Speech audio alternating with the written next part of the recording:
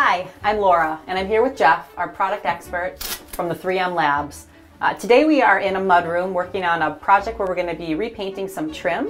So Jeff is working on the prep right now. He's taping off the vinyl flooring with 2020 Plus Scotch Heavy Duty Masking Tape.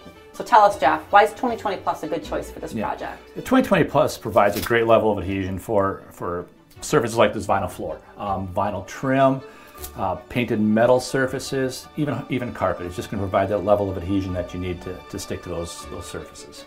And how long can you keep 2020 Plus um, on the surfaces? Yeah, on an interior project, anywhere from one to three days, so a little bit shorter term removability, but on those short projects, this is a great tape. Great. And what makes this different than a standard tan masking tape? Yep, um, compared to a standard tan tape, you're going to have a, a, stronger backing, a little bit thicker. You're going to have a little bit higher level of adhesion. Got a little bit more tack to it. And the bright color. It's really, really nice in those hard to see areas so you know you're removing all the, the masking tape at the end of the job. Great. And are there any uh, examples that you could give of why you would choose to use a Scotch Blue multi-surface painter's tape instead of something like 2020 Sure, plus? absolutely. So longer removal time is, is going to be an aspect that you look at, look for, UV resistance, and sharp paint lines. Okay, great. Thanks, Jeff. Thanks.